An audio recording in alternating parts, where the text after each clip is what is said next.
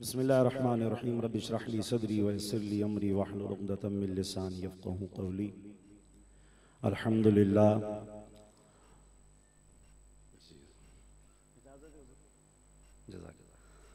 अल्हम्दुलिल्लाह अल्हम्दुलिल्लाहि वहदा वस्सलातु वस्सलाम अला नबिय्य बअदा अम्मा बअद फ़अऊज़ु बिल्लाहि मिनश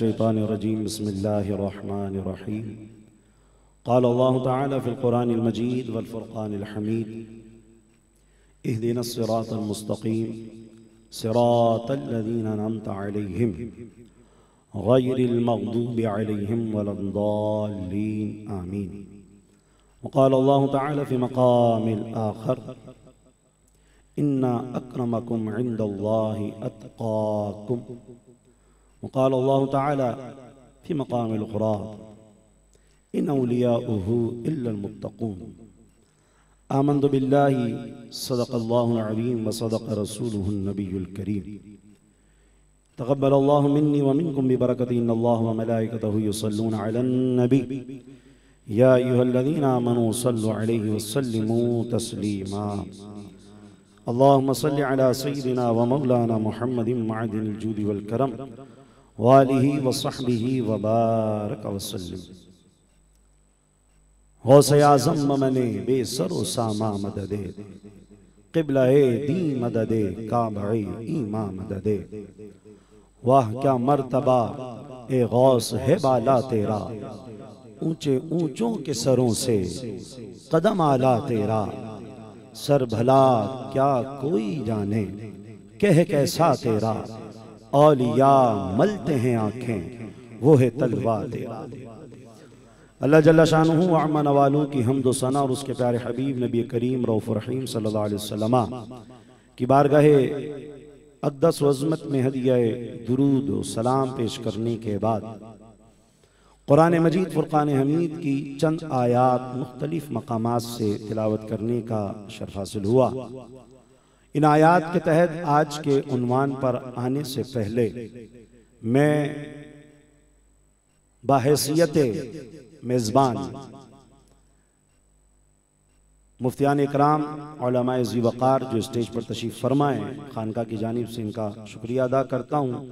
वह मेहमानान गिरामी जो मेरे दाएँ जानिब, सादात कराम और मुआज़ शख्सियात मौजूद हैं तो मैं पूरी खानका की नुमाइंदगी करते हुए उनकी तर्जुमानी में आप तमामी मेहमान गिरामी का भी खानका की जानब से शुक्रिया अदा करता हूँ। और आप तमामी हाजरीन पर्दे में बैठी हमारी माए बहनें, खवातीन। इन सब का बहुत शुक्रिया। मैं आपका इन तमामी अहबाब का शुक्रिया और इसके साथ ही, अल्हम्दुलिल्लाह, हमारी फोर्सेस के अहबाब भी हमारे दरमियान तशरीफ़ फरमाए। ये भी अपने कीमती औकात से वक्त निकाल कर यहाँ इस महफिल बज़ में आए। इन तमामी अहबाब का शुक्रिया। मैंने इनका शुक्रिया इसलिए अदा किया कि मेरे आका ने फरमाया कि जो लोगों का शुक्रिया अदा नहीं करता, वो अल्लाह का भी शुक्रगुजार बंदा नहीं बन सकता। लेकिन हम सबको मिलकर अल्लाह का शुक्र इस बात पर अदा करना चाहिए कि अल्लाह ने हमें एक बार फिर ये जश्न शहनशाह बगदाद में शरीक होने की सादत अता फरमाई। इस मुबारक महफिल में आप भी हाजिर हैं, मैं भी हाजिर हूँ, और ये हमारी खुशनसीबी है, हमारी खुशबख्ती है कि ये वो जश्न जीशान है, ये वो जश्न आली है मेरे गौसे पाक का कि अल्हम्दुलिल्लाह हमारे दरमियान इस पूरी बज़ में महफिल में औलाद गौसे आज़म आल नबी औलाद अली। पीर सैयद शेख शाह। गुलाम हैदर शाह रजाकी अल कादरी अल जिलानी अल बगदादी अल हमवी। अताल अल्लाह उम्रहु बिसिहत व आफिया। मसनद नशीन होते हैं, हज़रत तशरीफ़ फरमा रहते हैं किबला बड़े साईं, हैदर बाबा साहिब। अल्हम्दुलिल्लाह, इनकी मौजूदगी में हम यहाँ पर गौसे पाक की इस महफिल में हाजिर होते हैं। साला साल से महफिल सजाई जा रही है। अल्लाह ताला किबला बाबा साहब को इसकी बरकतें अता फरमाए। आपके फैजान से, जो फैजान गौसिया खास आपको हासिल है, अल्लाह उसमें से हमें हिस्से अता फरमाए।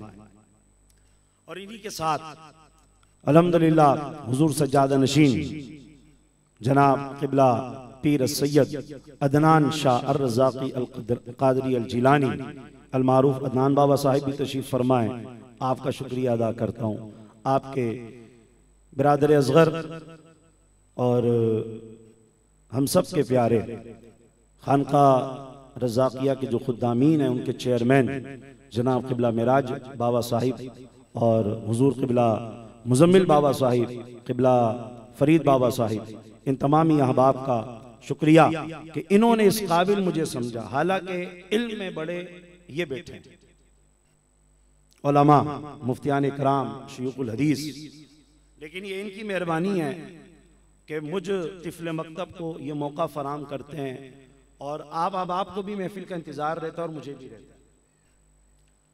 तकरीबन जब ग्यारहवीं शरीफ का महीना करीब आने लगता है तो हमारे जानने वाले जो इस महफिल से वाबस्ते हैं, जिन्होंने इस महफिल की लज्जत को चखा है, इस महफिल की मिठास को महसूस किया है, ये ये वो लज्जत है जिस प्याली का ज़िक्र ये बशीर भाई करते हैं ना, ये वो इनकी चाय की दुकान नहीं उसकी पब्लिसिटी नहीं करते। ये बड़ी खास प्याली है चाय। ये इल्म इरफान की प्याली है। ये जो कहते हैं कि अब्दुल्ला शाह गाजी का पानी हो गंज शकर की शकर हो हैं? और दाता साहब का दूध हो रोशन साहब की जो है वहाँ से पत्ती आए और शहबाज लाल कलंदर की जो है वो जलाल हो उसमें आए है, है। क्या बात है क्या बात है। तो ये जो प्याली है ना ये वो दूध पत्ती चाय वाली प्याली नहीं है। ये इल्म और इरफान की प्याली है। हमारी यहाँ चाय इसलिए पी जाती है जिसको नशा हो चाय का वो नशा उतारने के लिए पीता है। हैं। लेकिन ये वो प्याली है मार्फत की कि जो पी लेना फिर नशा उतरता नहीं। मार्फत का नशा है? और ये वो प्याली है चाय की मार्फत की। जैसा साई ने फरमाया कि इसको शुगर का मरीज़ जितना हाई शुगर चला जाए, लेकिन ये एक ऐसी प्याली है ना, अल्लाह ताला हमें पीना नसीब फरमाए। तो ये जो प्याली है, रूहानियत की ये इस महफिल में हमें नसीब होती है। तो जिन्होंने लज्जत महसूस की, साल साल से इंतज़ार करते हैं, पूरे साल इंतज़ार होता है कि कब महफिल है, कब महफिल है। अलहमदिल्ला आज वो दिन आया। अल्लाह ताला का हम शुक्र अदा करते हैं कि अल्लाह ने हम तमाम को यहाँ पर आने, बैठने, ज़िक्र करने की तोफ़ी अता फरमाई। वक्त बड़ी तेज़ी से गुजर रहा है और मेहमाना ने गिरामी कसीर हैं, मजीद नाथ खान भी तशरीफ़ लाएँगे। तो मैं अपने मौजू पर आता हूँ और इन हमारा जो एक सिग्नल है, आई कॉन्टेक्ट है अदनान साई से, उसके मुताबिक हुक्म पर इनशाला मैं अपने बयान को खत्म कर दूँगा, जो वक्त दिया गया है। मेरे दोस्तों, मैंने कुरान मजीद, फुरकान हमीद की जो आयत पढ़ी है अल्लाह तबारक बताला ने इस आयत मुबारक में सिरात मुस्तकीम का मैार बयान किया क्या बयान किया है? मैार। कि सिरात मुस्तकीम का मैार क्या है। अच्छा अब हिदायत का मैार कुरान ये हुदलन्नास है आदीस हुदलन्नास है। लेकिन इन दोनों के ज़रिए कुरान और हदीस, इन दोनों के ज़रिए जो सिरात मुस्तकीम नसीब होता है ना क्योंकि कुरान ही में अल्लाह फरमाता युदिल्लु भी कसीरा वयाहदी भी कसीरा। कि बहुत से ऐसे हैं कि जो इसी कुरान के ज़रिए जो है वो गुमराह हो जाते हैं। उन्हें कुरान गुमराह नहीं कर रहा होता। कुरान में माजल्ला ऐसा कुछ नहीं है, लेकिन वो कुरान पढ़ के गुमराह हो रहा है। इसकी वजह यह कि उन्होंने कुरान को उस मैार और उस एतबार से ना पढ़ा, ना समझा, जो कुरान पढ़ने और समझने का मैार तो इसी तरह अल्लाह ने इस आयत मुबारक में मैार बयान किया मैार हमारे यहाँ बहुत सारे कहने वाले कहते हैं और हमारे भोले भाले भाइयों को गुमराह करते हैं कि जी, क्या ज़रूरत है? तुम तकलीद कर रहे हो। क्या ज़रूरत है? तुम मजारात में जा रहे हो। क्या ज़रूरत है? तुम अल्लाह वालों की बात कर रहे हो। तुम औलिया अल्लाह की बात कर रहे हो। इसकी क्या ज़रूरत पड़ी है? ये नादान जानते नहीं है कि ये वो लोग हैं। अल्लाह वाले अहलुल्लाह। मेरे दोस्तों, जो शरीयत का मैार है, दीन का मैार है, सिरात मुस्तकीम का मैार कैसे? अब मैं एग्ज़ाम्पल देता हूँ आपको। कि देखें, हज़रत मौलाए कायनात अली मुर्तजा रदी अल्लाह समझाने के लिए अर्ज़ कर रहा हूँ, मौजू मेरा ये नहीं सिर्फ़ मिसाल दूँगा, आगे बढ़ूँगा। हजूर मौलाए कायनात रदी अल्लाह तहों की ज़ात फजीलत के अतबार से, शान के अतबार से, शान विलायत के अतबार से, शान साहबा के अतबार से, आपकी वो वो फजाइल मेरे आका ने अपनी जबान अथर से बयान फरमाए कि साहबा कराम उन फजीलतों पर नाश किया करते थे। मेरे मौला, उन शानों में, उन फजाइल में आपकी ज़ात यकता है जो फजाइल मेरे आका ने हजूर मौला कायनात को बाज ऐसे इर्शाद फरमाए कि उसमें कोई मौला अली का शरीक नहीं उसमें एक फजीलत यह है मौला कायनात की कि मेरे आका का फरमान, उसका मफहूम यह है? कि मेरे आका ने फरमाया कि अली से मोमिन मोहब्बत करेगा। अली से मोमिन मोहब्बत करेगा। और अली से जो बुग्ज रखने वाला है, वो मुनाफिक ही होगा। ऐसा नहीं है कि कोई मोमिन और अली से बुग्ज रखे। ऐसा नहीं है कि कोई मुनाफिक हो और अली से मोहब्बत कर ले। तो ये बात, अब साहब इकराम अली मरिदवान जब दौर खिलाफत आया तो उस दौर में जब मुनाफ्त बढ़ने लगी, दीन के अंदर दीन के अंदर गड़बड़ पैदा करने वाले शरीर पैदा हुए। मेरे आका करीम सलात सलाम के साहबा, उनकी सीरत, उनकी पाकिजा सीरत को मशकूक बनाने वाले पैदा हुए। दीन के, की हकीकत और उसके असल नक्शे को बदलने वाले पैदा हुए। तो मेरे दोस्तों साहब इकराम अली मुरिदवान ने बकायदा इस बात पर एक, आप यूँ कह लें, आज के दौर के अतबार से कॉन्फ्रेंस की। मुशावरत की कि हम क्या करें कि हमारी सफ़ों में मुनाफिक घुसे। हमारी सफ़ों में मुनाफिक घुसे हुए। अब उन मुनाफिकिन को कैसे पहचाने? मोमिन की पहचान ईमान से हो जाएगी, वो ऐलान करेगा कि नो मोमिन उसके अमल से पहचान होगी। काफिर की पहचान खुला जो काफिर है, वो काफिर वो अपने आप को काफिर कहता है, उसकी पहचान आसान से हो जाएगी, आसानी से। लेकिन जो मुनाफिक है, उसको कैसे पहचाना जाएगा? साहब में जब इस बात को लेकर तशवीश हुई कि हम सफों से, अपनी सफों से मुनाफिकीन को कैसे पहचाने, अलहदा करें तो उनके जहन में फिर मेरे आका का ये इर्शाद आया फरमाया कि सरकार ने फरमाया था कि अली से मोमिन मोहब्बत करेगा और मुनाफिक बुग्ज रखेगा। तो साहबा ने फरमाया, अब हम ये करेंगे मुनाफिक को पहचानने के लिए कि हमारे सामने कोई भी शख्स आएगा, हम उसके सामने ज़िक्र अली शुरू कर देंगे। अली अली करना शुरू कर देंगे। अगर अली का नाम सुनकर, अली की बात सुनकर, अली का ज़िक्र सुनकर उसका चेहरा तमतमा गया, खिल गया चमक गया। तो ये इस बात की दलील है कि वो मोमिन है। अगर अली का नाम सुनकर, अली की बात सुनकर, अली का ज़िक्र सुनकर उसके माथे पे बल पड़ गए, ये इस बात की दलील है कि वो मुनाफिक है। तो साहब कराम ने फरमाया कि हमारे पास इस वक्त मोमिन और मुनाफिक में पहचानने का जो मैार है, वो जाती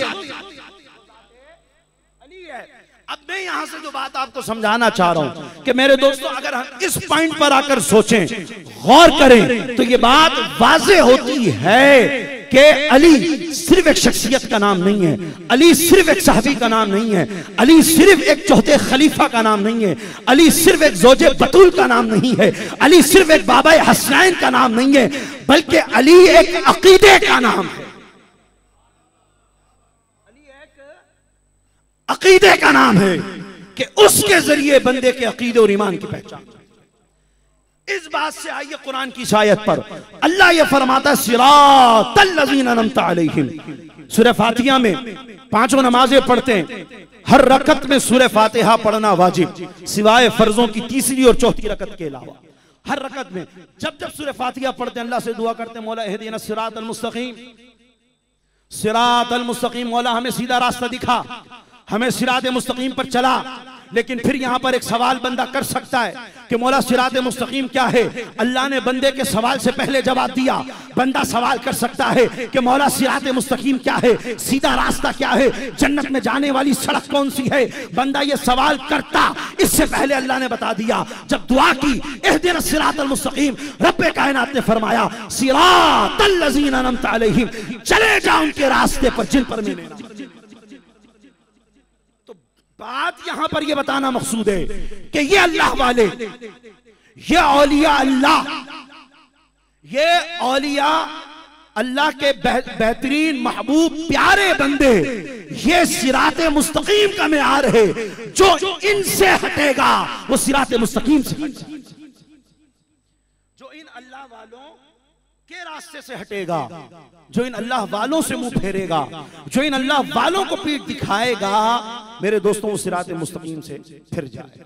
क्योंकि ये मैार है हिदायत का ये मैार है सिरात मुस्तकीम के कि अगर कुरान को लेना है तो उस तरह लेना जिस तरह अल्लाह वालों ने लिया है। अगर हदीस को लेना है तो उस तरह लेना जिस तरह इन अल्लाह वालों ने लिया है। अगर कुरान की तफसीर और तशरी करनी है उस अंदाज में करना जिस तरह अल्लाह वालों ने की है। और अगर अहदीस को समझना है तो उस म्यार पे उतर के समझना जिस तरह अल्लाह वालों ने समझी। मनमानी करने वाला, वो हिदायत से हट जाएगा, फिर जाए इसके बगैर कोई रास्ता नहीं। अब ये तमाम औलिया कराम सिरात मुस्तकीम का जो है वो मैार है। ये बात समझ गए आप? आए हाय हाय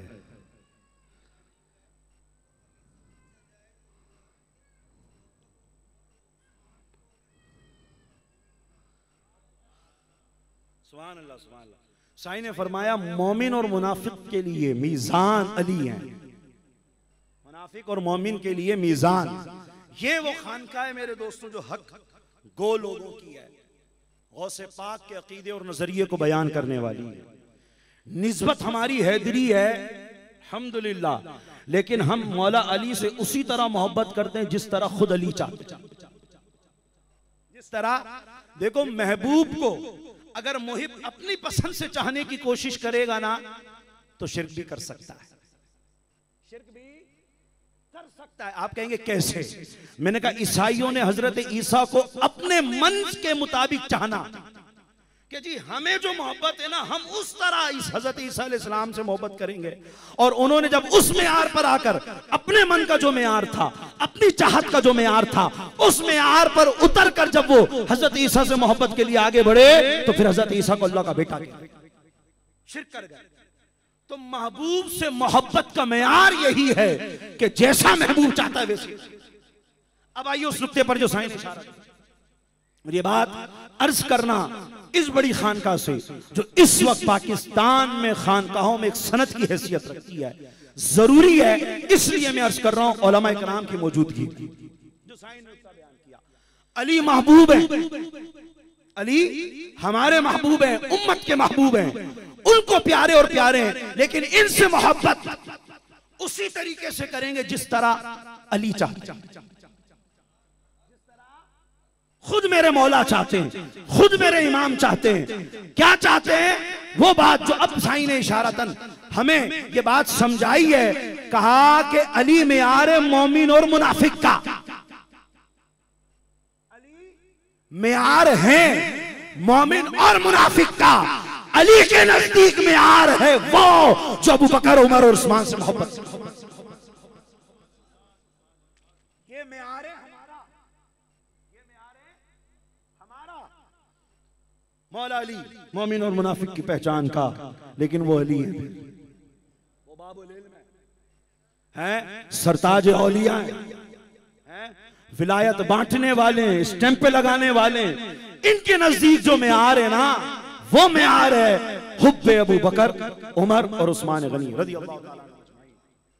अब समझिए तो मेरे दोस्तों, ये वो मुबारक शख्सियात और ये हक चार यार बोले हक चार नारे तहकीक। हो सकता है कोई सवाल करे कि जनाब आप यहाँ बैठे जश्न शहजाह बगदाद में शान से पाक को बयान करें। मैं कभी करते हैं। थोड़ा सा टाइम है हमारे पास।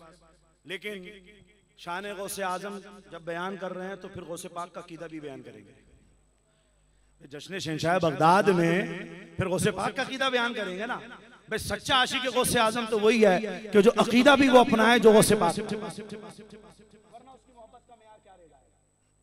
मोहब्बत फिर वो अपनी मनमानी की मोहब्बत होगी उसकी मोहब्बत उसको कोई फ़ायदा नहीं पहुंचाएगी। तो एक मतलब बोलना रहते की तो मैं समझाना ये चाह रहा था मेरे दोस्तों कि ये वो मुबारक हस्तियाँ हैं साहब कराम ताबीन अब ये अनआमता में ये अल्लाह के तमाम इनाम याफ्ता बंदे दाखिल हैं। अब अल्लाह के नाम याफ्ता बंदे कौन? कुरान की दूसरी आयत पढ़े जाके आगे थोड़ा सा आगे बढ़े आप। सूर्य बकरा के बाद आए इमरान पर आए सूर्य निशा पर आए। आप थोड़ा सा आगे आए मेरे दोस्तों अल्लाह फरमाता है कौन अल्लाह के बंदे व सिद्दीकीन व शुहदा व मैं यहाँ पर वो नुकता अर्ज़ करके गुजरूँगा, मौजू ये नहीं है, इसलिए इसको मैं मजीद छेड़ूँगा नहीं। अल्लाह ने फरमाया, सिरात अल्लाजीना, इनाम याफ्ता बंदे कौन? सीधा रास्ता मिलेगा अंबिया के पीछे चलने से। अंबिया के पीछे चलने से। सीधा रास्ता मिलेगा सिद्दीकीन के पीछे चलने से। पीछे? सिद्दीकीन के पीछे चलने से। अगर कोई सिद्दीकीन के पीछे चले सिद्दीक अकबर को छोड़कर तो वो माजूरी लौटेगा। वो लंगड़ा जाएगा। क्योंकि जब सिद्दीकीन के रास्ते पर चलना है तो फिर लाजिम है कि अकबर जो सिद्दीकों के अकबर है, सबसे बड़े सिद्दीक उनके दामन को पकड़। फिर बल्ला अल्लाह ने फरमाया, कौन? और आगे बढ़ो। नबीन सिद्दीकीन, शोहदा। कहेंगे, कौन से? मैंने कहा, दूर ना जाओ। किबला अव्वल पे आओ। इनका रास्ता सिरात मुस्तकीम है। ये जो कर रहे हैं ना अभी वहाँ पर, हमारे जो मुसलमान है, मजलूम। सिरात ये वो रास्ता है जो हिदायत और सिरात सिरात मुस्तकीम है। फिर अल्लाह ने फरमाया वसालिहीन और अल्लाह के नेक बंदों का रास्ता। ये सिरात मुस्तकीम म्यार है। ये मीज़ान है सिरात मुस्तकीम का। जो इन अल्लाह वालों से फिर जाए हट जाए। अब सवाल ये पैदा होता है कि जी ये जो सिरात मुस्तकीम है अल्लाह वाले जो है इनाम याफ्ता बंदे अल्लाह इन पर इनाम करता क्यों है? और यही मेरा आज का बयान का मौजू है जिसकी मैंने अभी सिर्फ़ तमहीद बांधी है। कि मुझसे दो दिन पहले एक बंदे ने सवाल किया। लिटरली कह रहा हूँ। बना के बात नहीं कर रहा। दो दिन पहले पूछा मुझसे, कहने लगा कि अल्लाह ताला ने गौसे आज़म को इतना बड़ा मकाम दिया क्यों है? इतना बड़ा मकाम। तो अब सालिहीन का रास्ता सिरात मुस्तकीम का है। ठीक है, इनाम याफ्ता बंदों का रास्ता सिरात मुस्तकीम है। अब अल्लाह इनाम करता क्यों है? सवाल ये पैदा होता। अब उसका यह सवाल था कि अल्लाह ने गौसे आज़म को इतना बड़ा दर्जा दिया क्यों? तो इसका सबसे पहला जवाब यह कि जाली का फजल्ला शाह ये अल्लाह का फजल है जिसको चाहे अता। मैंने कहा, इसके और भी दलाइल हैं, लेकिन अगर तू टेढ़े दिल के साथ ये सवाल कर रहा है ना तो मैंने कहा, फिर ये महशर में रब से पूछना कि मौला तुमने दिया क्यों था इतना बड़ा मकाम? ठीक है? और अल्लाह का ये फजल है। लेकिन अब आइए दलील पर कि अल्लाह ये मकाम देता किनको इनाम याफ्ता बंदे। होते कौन है? और उनमें फिर सबसे बड़े दर्जे के होते कौन है? ठीक है जी। अल्लाह ने कुरान मजीद फुरकान हमीद में फरमाया, फैसला कुरान का, फतवा कुरान का। मुफ्ती साहब बैठे। ताल्लुक मेरा भी दारुल सीनियर मुफ्ती साहब तशीफ फरमा। ठीक है। अब कुरान का ये फतवा है। माशाल्लाह। कुरान का ये फतवा है। नारे तकबीर, नारे रिसालत, नारे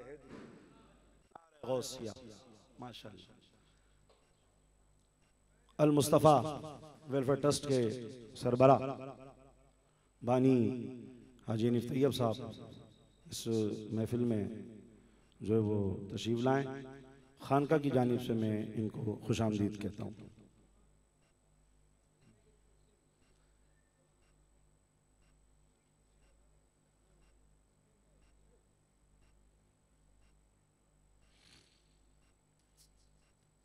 दुरुद पाक में अल्लाहुम्मा सल्ली अला सय्यिदिना मौलाना मुहम्मद मअदिल जूदी वल करम वालिहि व सहबिहि व बारिक वसल्लिम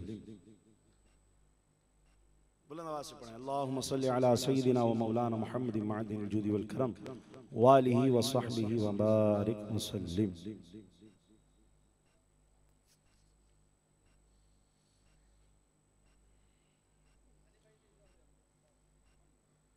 ऐसा भी इजाज़त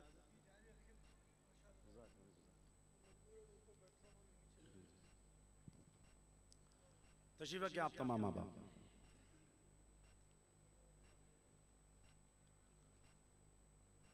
दस से बारह मिनट मेरे पास बचे हैं और उसमें मैं अपनी बात मुकम्मल कर रहा हूँ। ठीक है सही जी सही तो मैं अर्ज़ ये कर रहा था कि अल्लाह ताला ये मकाम देता किनको इनाम याफ्ता बंदे होते क्यों हैं? और अल्लाह ताला फिर ये इनाम करता किस एतबार से? फतवा कुरान में अल्लाह ने खुद बयान फरमा दिया हुक्म अल्लाह ने बयान फरमाया। ठीक है? अल्लाह तबारक वाली ने फरमाया कि अलिफ्लाम किताब बफी हुदलमुत्तकीन क्या फरमाया? हुदलमुत्तकीन कि ये वो किताब है जिसमें किसी किस्म का कोई शक नहीं है। दारई बफी शक की गुंजाइश ही नहीं है। हुदलमुत्तकीन ये किताब मुबीन, कुरान मजीद, फुरकान हमीद, ये परहेजगारों के लिए हिदायत है। किसके लिए हिदायत है? अब पता ये चला कि कुरान पढ़ के जो गुमराह हो रहा है ना, उसमें कुरान में माजल्ला ऐसा कुछ नहीं है। कुरान उसको गुमराह नहीं कर रहा। वो परहेजगार नहीं है। वो परहेजगार नहीं है। कमी उसके अंदर ये पाई गई कि उसने तकवे को छोड़ा, क्योंकि कुरान हिदायत की रोशनियाँ उससे अता फरमाता है जो तकवे वाला कौन सा हो? परहेजगार हो। हुदल मुत्तकीन कि कुरान किताब मुबीन ये हिदायत है परहेजगारों के लिए। एक बात। दूसरी बात अल्लाह ने फरमाया इन मुत्तकून। ये विलायत मिलती किनको है? ये विलायत मिलती किनको है? वली होता कौन है? वली बनता कैसे है?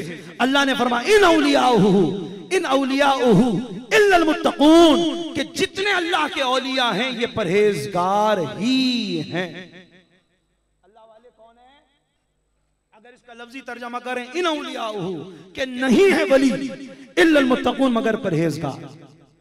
सवे परहेजगारों के अलावा, मुत्तकियों के अलावा, कोई भी शख्स वली बन नहीं सकता। परहेजगारी के अलावा, ये तकवा में आ रहे विलायत, तकवा में आ रहे विलायत का। अब सवाल ये पैदा होता है अल्लाह इनाम फरमाता किन पे? जो इनाम याफ्ता बनते हैं, जो सिरात मुस्तकीम का मैार बनते हैं, जो हिदायत का मैार बनते हैं, अल्लाह ये इनाम फरमाता उन पर है जो तकवा इख्तियार करते हैं। कौन इख्तियार करते हैं? तकवा। अब वो आप गौर करें, कैसे? अल्लाह ने फरमाया खबरदार कि अल्लाह के वलियों को ना कोई खौफ है, ना कोई गम है। ये डरते नहीं है। ये खौफ जदा नहीं होते, ना ये गम जदा होते। हैं ये अल्लाह के वलियों की शान है, पहचान है। लेकिन फरमाया, कौन है वली? सवाल ये पैदा होता है, हम पहचानेंगे कैसे कि ये वली है? फरमाया, अल्लाजीना आमनु व कानु यत्तकून। वो लोग जो कामिल ईमान वाले हैं और परहेजगार। वली होता कौन है? परहेजगार।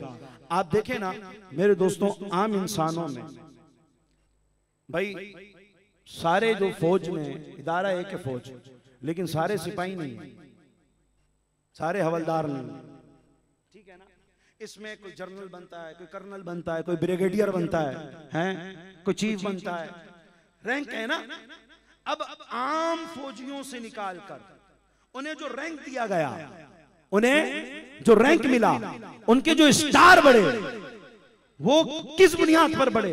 इसका मतलब यह है कि इनके अंदर उन आम से ज़्यादा सलाहियत है। इनके अंदर उन आम से ज़्यादा सलाहियत है। इनकी एबिलिटीज जो हैं वो उनसे ज़्यादा हैं इसलिए स्टार लगा दिए जाते हैं। रैंक हाई कर दिया जाता है। देखें तो तमाम लोग वली दिखता हमारी तरह है देखता हमारी तरह है।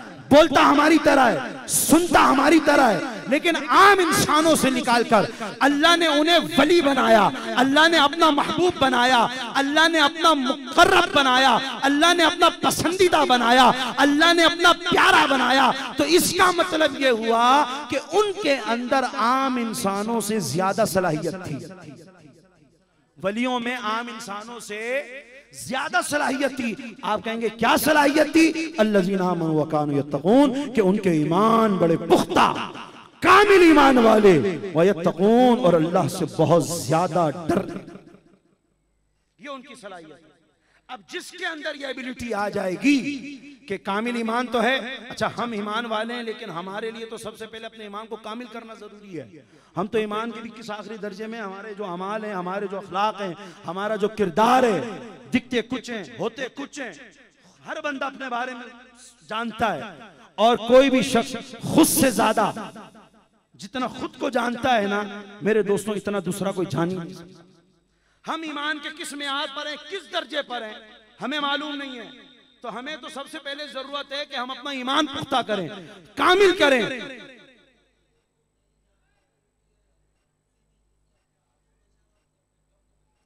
और ये ज़रूरी है। सुबह अल्लाह सुबह और ये ज़रूरी है कि बंदा अपने आप को पहचाने।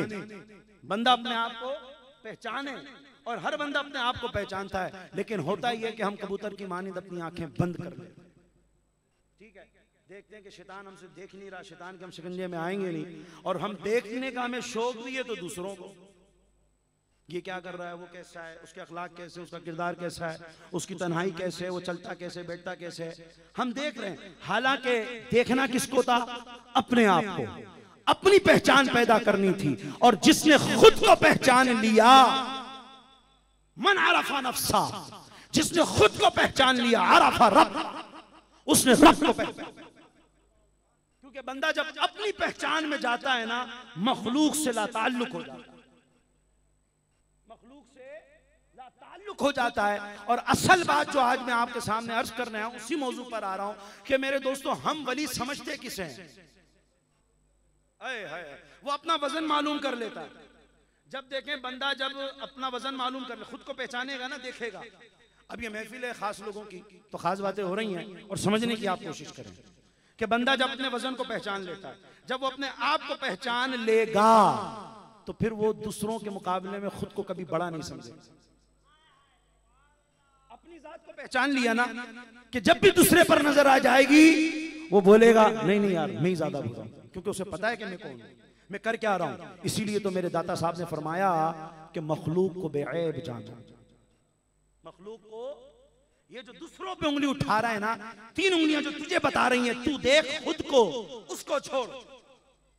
ये ना ये बोला के तीन को देख, वो तुझे बता रही है खुद को पहचान, कि जो बंदा खुद को जितना पहचानेगा, वो इस बात को भी पहचान लेगा कि लोगों के मुकाबले में मेरा मैार क्या है। जब वो खुद को पहचान लेगा तो फिर इस बात को भी जान लेगा कि रब के नज़दीक मेरी क्या और जब वो रब के नज़दीक अपनी मार्फत हासिल कर लेगा तो फिर वो दिल से कहेगा, ला ये जो फिर ला निकलेगा ना ये ला निकलता उस वक्त है, ये ला बताता ये है, ये ला सिखाता ये है कि खुद को मिटा दे।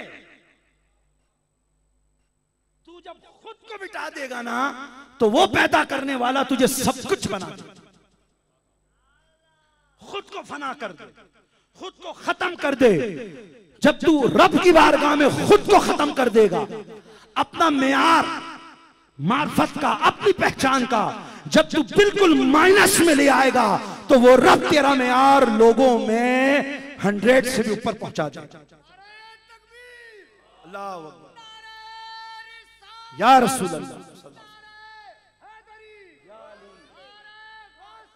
या आज़म, दस्तगीर मदद।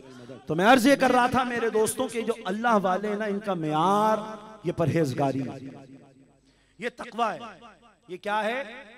तकवा और परहेजगारी। इसके बगैर कोई वली बन ही नहीं सकता। हम वली ढूंढते किसको है कि यार ये करामत दिखाता कितनी है? ये करामत दिखाता कैसी है? हाँ हाँ ये करामत। वो करामत नहीं होती, वो शोबदे होते हैं लोगों की जेबें खाली करने के। और यही वजह है, मेरे दोस्तों, मैं बात कर रहा हूँ हकीकी औलिया की। किनकी कि जब बंदा जब बंदा इस म्यार पर आता है जब बंदा इस म्यार पर आता है परहेजगारी की तरफ़ आता है ना जब बंदा अल्लाह के करीब होने के लिए रास्ते पे चलना शुरू करता है खुद को फना करने लगता है तो मेरे दोस्तों फिर वो नमाज़ भी हम जैसी नमाजें नहीं पढ़ता वो नमाज़ इश्क अदा करता क्योंकि ये परहेजगारी म्यार है म्यार। ये ढोंगियों ने खराब किया है। हम कहते हैं जी पीर वही है कि जी, जो शोभे दिखाए, जो हवा में उड़ता हो, जो समुंदर पे चलता हो, जो बीमारी को दूर कर दे, जो परेशानी को दूर कर दे, मेरे दोस्तों, ये अल्लाह ने उनको कमलात दी हैं, ये ताकतें अल्लाह देता है अपने महबूबों को। अल्लाह अपने प्यारों को ये ताकत देता है कि वो अल्लाह की इजाज़त से लोगों के मसले, परेशानियाँ सब दूर कर दें, लेकिन विलायत का मैार करामत नहीं है। विलायत का मैार करामत नहीं है, विलायत का मैार परहेजगारी। तकवा। अब सवाल मेरा वही है कि जी गौसे आज़म को इतना बड़ा दर्जा कैसे मिला? अब इससे पहले मैं आता हूँ मेरे दोस्तों, परहेजगारी किसको कहते हैं? तकवे का मुराद क्या है? जी, इसकी ओलमा ने मुफसरीन ने ओलमा ने मुहदस ने कई एतबार से तारीफ़ की। एक तारीफ़ ये की कि तकवा वो है कि लोग बंदा गुनाह कबीरा और सगीरा को छोड़ दे, अल्लाह की तात में लग जाए। ये परहेजगारी है। बाज ने तारीफ़ की कि बंदा अल्लाह ताला से डरे, खौफ पैदा करे। अल्लाह का जितना डर उसके दिल में बढ़ेगा, अल्लाह ताला की तात का जज्बा उतना पैदा होगा। लेकिन एक कहने वाले ने कहा, क्योंकि कमाल करते ना अल्लाह वाले भी। मेरे दोस्तों, एक कहने वाले ने कहा कि तकवा ये है, परहेजगारी ये है कि खुदा तुझे वहाँ ना देखे जहाँ उसने होने से मना किया था। खुदा तुझे वहाँ ना देखे जहाँ उसने मना किया था कि तुझे होना नहीं चाहिए था। ये तकवा है कि बंदा खुद को वहाँ से रोके जहाँ उसको होना नहीं चाहिए था। बिशरे हाफी शराब खाने में थे। रब को वहाँ पसंद नहीं है। अल्लाह ने फरमा दिया कि जाके इसको बोल हम वली बना चुके निकल। यहाँ से बाहर आ। ये तेरी जगह नहीं है क्योंकि यहाँ देखना हमें पसंद। है तो तकवा यह है कि बंदा उस जगह उस मकाम उस तरीके काम से बचे जिससे रब ने मना किया। ये मैं बात बहुत बड़ी कर रहा हूँ मेरे दोस्तों, ये खुदा की कसम, मेरा भी मैार नहीं है कि मैं बयान करूँ। परहेजगारी तकवा है ना, मैं आ उस पर रहा कि अल्लाह ने गौसे आज़म को इतना बड़ा जो मकाम दिया ना, ये गौसे आज़म क्यों है? ये इसका जवाब दे रहा हूँ मैं बस। अभी बयान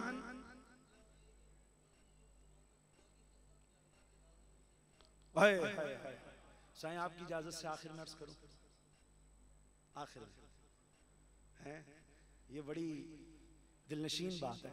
सुबहान जो साई ने फरमाई है ना आप सुनना कि गौसे आज़म कितना बड़ा मकाम विलायत मिला कैसे? कितना बड़ा मकाम विलायत है कि इमाम हसन अस्करी से लेकर इमाम मेहदी तक। इमाम हसन अस्करी से लेकर इमाम मेहदी तक। अव्वलीन आखिरीन सबके बादशाह और सरदार गौसे आज़म। इमाम हसन अस्करी से लेकर जो ग्यारहवें इमाम है बैत में, उनसे लेकर मेरे दोस्तों इमाम मेहदी तक, अव्वलीन आखिरीन, जो गौसे आज़म से पहले हुए या बाद में हुए, कयामत तक इमाम मेहदी तक, जितने औलिया आएँगे, वो सब गौसे आज़म के आगे सर न्याज झुकाए हुए ये ज़रूरी है, इसके बगैर चारा नहीं है। बल्कि सूफिया ने तो यहाँ तक लिखा कि गौस आज़म की शान विलायत का आलम यह है अगर कोई वली शहर बगदाद में जाए शहर बगदाद में जाए और वो गौस आज़म के मज़ार पे हाजिरी ना दे। क्या मतलब हुआ? बंदा हाजिरी कहाँ देता है? जिसके हाथ में रजिस्टर्ड होता है। रजिस्टर जिसके हाथ में होता है। जिसके हाथ में रजिस्टर है इसका मतलब है कि उसके पास अख्तियार है कि नाम रहने दे के काट दे। भाई रजिस्टर जिसके पास है हिसाब किताब उसी के पास होता है ना। हाजिरी का रजिस्टर जिसके पास है इसका मतलब है उसके पास इख्तियार है कि वो नाम रहने दे के निकाल दे। तो सूफिया फरमाते हैं कि जो शहर बगदाद आए और गौसे आज़म के मजार पे हाजिरी ना दे उसकी विलायत को सल छीन लिया जाता है। क्योंकि उसके लिए ज़रूरी था विलायत बचानी थी तो हाजिरी लगाता। अब उस जुमले पर आऊँगा जो साई ने फरमाया कि गौस आज़म का इतना मकाम विलायत कैसे अल्लाह ने फरमाया कि कुरान हिदायत परहेजगारों की अल्लाह ताला ने फरमाया कि इन अलियामुत्तकून कि जितने वली हैं वो परहेजगार हैं, यानी वली परहेजगारी के बगैर बनता ही नहीं है। अब गौसे आज़म का इतना बड़ा दर्जा, कितना बड़ा दर्जा, उस जुमले को मैं आखिर में करता हूँ साईं की इजाज़त से, कितना बड़ा दर्जा, अल्लाह फरमाता इन्ना अक्रमकुम अल्लाह के नज़दीक सबसे ज़्यादा इज़्ज़त वाला वो है कि जो जितना बड़ा परहेजगार होगा। अल्लाह के नज़दीक सबसे ज़्यादा इज़्ज़त वाला वो है कि जिसका तकवा अतकाकुम सबसे ज़्यादा होगा। तो पता ये चला कि इमाम हसन अस्करी से ले इमाम महदी तक जो तकवा जो परहेजकारी मेरे गौसे आज़म की है ऐसा तकवा किसी का ऐसी परहेजगारी किसी की नहीं है। ये बात मैं इसलिए कर रहा हूँ गौसे पाक की ग्यारहवीं खाने वालों कि हमें गौसे पाक रज़ी अल्लाह तु की वो मुर्गी याद है कि जो मेरे गौसे पाक ने ज़िंदा की थी लेकिन इस मुर्गी से पहले आओ 18 साल की उम्र में ये जो जवान निकलता है। 18 साल की उम्र में माँ को। खैर बात कहता है कि जन्नत में मिलेंगे इल्म दीन सीखा। चालीस साल जंगल में रहा, भूखा, प्यासा रहा। पंद्रह साल तो ऐसे गुजारे कि रोज़ाना रात में कुरान मजीद, फुरकान हमीद का एक खत्म किया। इनमें कई साल ऐसे गुजारे कि एक टांग पे खड़े होकर कुरान मजीद, फुरकान हमीद का खत्म। ये शान मेरे को अब ये तकवे का म्यार तो और पीछे से भी शुरू होता है, और पीछे से भी आता ये गौसे आज़म का जो तकवा है ना, परहेजगारी है, इससे और थोड़ा सा पीछे आओ मेरे दोस्तों। और पीछे आओगे तो गौसे आज़म के वालिद, ये अल्लाह के वली। आपकी वालदा, ये अल्लाह की वलिया। आपकी फुपियाँ ये अल्लाह की वलिया। आपका हर बेटा अल्लाह का वली। क्यों? हुजूर गौसे पाक रज़ी अल्लाह तु के वालिद मोहतरम थे सैदना शेख अबू साले मुसा जंगी दोस्त। वालिद, ये समुद्र के किनारे बैठे हुए मशहूर वाक्य आपने सुना समुद्र के किनारे बैठे हुए जब समुद्र के किनारे बैठे हुए उस दरिया के किनारे समुद्र में सेब तैरता हुआ आया। आपने उठाया, खा लिया। आपने उठाया, खा लिया। सेब खाने के बाद आपको ख्याल आया कि पता नहीं ये सेब हलाल था कि हराम। हम तो ठूसे जा रहे होते हैं ना। उड़े लो बस, अंदर डालो। वो खा चुके। खाने के बाद आपने ख्याल किया कि पता नहीं ये सेब हराम था कि हलाल। मैंने तो मालिक की इजाज़त के बगैर खा लिया। कौन है गौसे आज़म के वालिद? गौसे आज़म के वालिद। कहा कि अब ये जब खा चुका हूँ तो क्या करूँ? कहा कि उसके मालिक को ढूंढो। अब मालिक को कैसे ढूंढेंगे तो मिला दरिया के किनारे था। अब दरिया के किनारे मिला था, कहा दरिया पे चलो। उस संत चलो जहाँ से सेब आया था। उस संत पे चलने लगे। चलते चलते चलते दरिया के दूसरे किनारे पे पहुँचे। दूसरे किनारे पे पहुँचे तो आपको सेब का एक पेड़ नज़र आया। सेब का पेड़ नज़र आया तो आपने जन गालिब किया। शरीयत का ये मैं तशीफ फरमा है कि इस तरह माफ़ी मांगना ज़रूरी नहीं था। लेकिन ये परहेजगारी इसी को कहते हैं।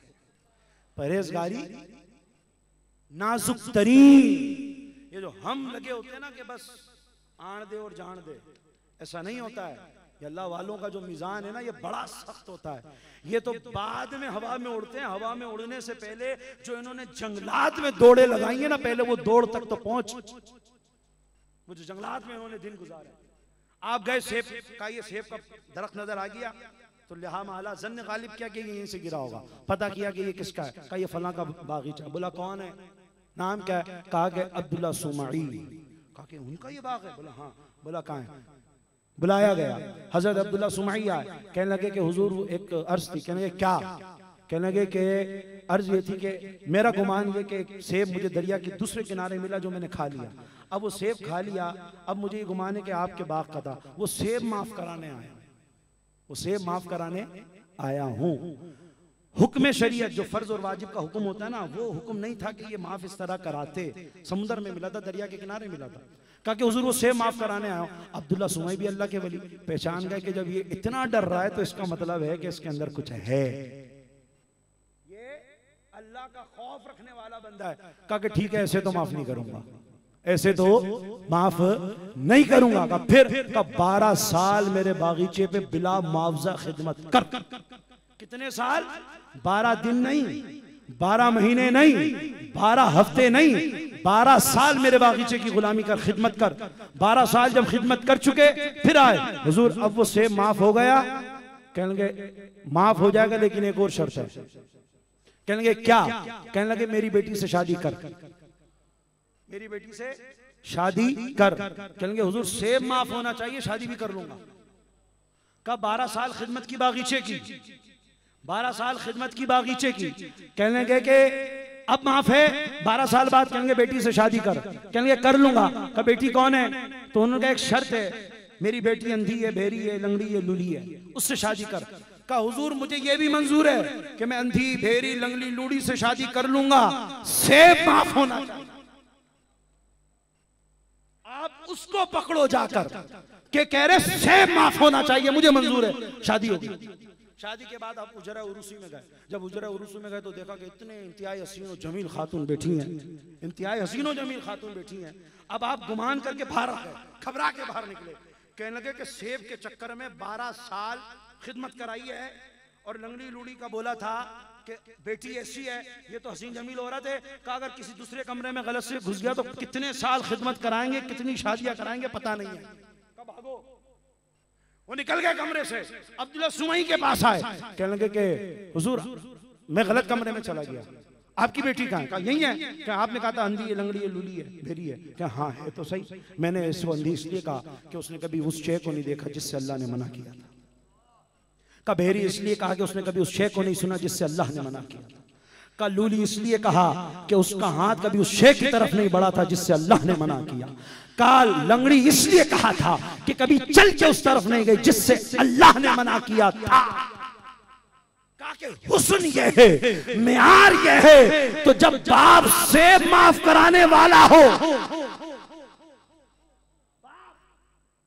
से माफ़ कराने वाला हो माए ऐसी पाकिजा हो उसका बेटा होता है अब्दुल कादिर चीलानी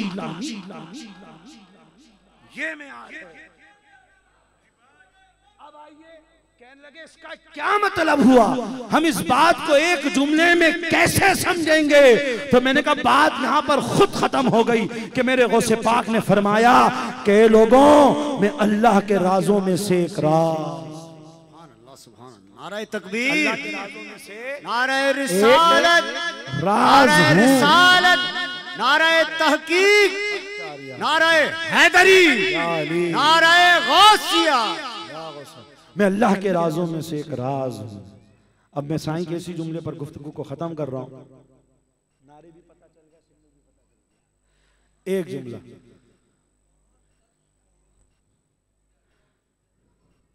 आए हाय क्या बात है। तो ये जो जुमला है ना मेरे गौसे पाक का कि मैं अल्लाह के राजों में से एक राज हूँ। तो मेरे दोस्तों, राज हूँ बोला है, राज था नहीं बोला। राज हूँ बोला है, था नहीं बोला, हूँ। तो अब राज अगर बता दिया तो राज नहीं रहेगा। राज अगर बता दिया तो फाश हो जाएगा। राज नहीं रहेगा। आप फरमा रहे राज हूँ। तो राज पता नहीं चलेगा। और जिसको राज बताना होगा पहले उसको राजदार बनाया जाए। यानी उसको राज खुद बनाते हैं तो फिर वरना इसके अलावा पता नहीं लग सकता। बंदा जो है यही कहता रह जाता है जैसे मेरे हुजूर इमाम इश्क मोहब्बत आला हज़रत ने कहा कि ऊँचे ऊंचों। से का ऊँचे ऊंचों से। मेरे इमाम के ये दो लफ्ज जो है ना, दो जगह हैं, मेरी नॉलेज के मुताबिक। एक आपने नाते मुस्तफ़ा में फरमाया कि सारे ऊंचों से ऊँचा समझिए जिसे। सारे ऊंचों से ऊँचा समझिए जिसे। है उस ऊँचे से ऊँचा। हमारा नबी, दूसरा मेरे इमाम ने यह फरमाया कि ऊँचे ऊंचों से। वो पूरी खल्क की बात हो रही है। वो पूरे आलम की बात हो रही है। और ये तमाम औलिया की बात हो रही है कि ऊँचे ऊँचे विलायत में जिसको तुम ऊँचा समझते हो, उससे भी ऊँचा कदम है आला तेरा। वाखिर